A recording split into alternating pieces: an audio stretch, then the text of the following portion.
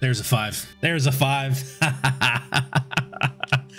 yes. 189 to 206. He's a guaranteed diamond. Let's go, everybody. So, problem is, he's gone and tucked himself into this group in the tall reeds, and I actually don't know which one he is. I can't, I can only get a spot on these two in the front, so I just gotta wait for them to shift around. I'm trying to whistle.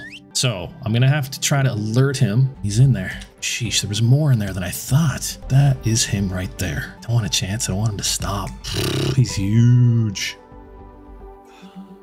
I Think that was good. Yep, we got him. We got a diamond TruRACS friggin' uh, plains bison. Look at the like the rib, the ribs on the, the horn there. Markings. Wow, that's crazy. I don't think those big fours had that. Let's see what he scores. 190.9. He's huge. Right on the lung there. I have a feeling that's the bighorns. My gosh.